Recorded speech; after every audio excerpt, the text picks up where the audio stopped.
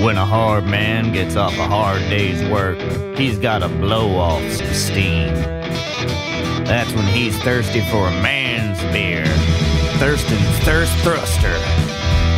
Made with big balls of barley and hops for a cool taste that lets you know you got something wet in your mouth. The second it hits your lips, you're gonna wanna swallow every bit. Thurston's Thirst Thruster. Be a man and thrust this down your throat. Please drink responsibly.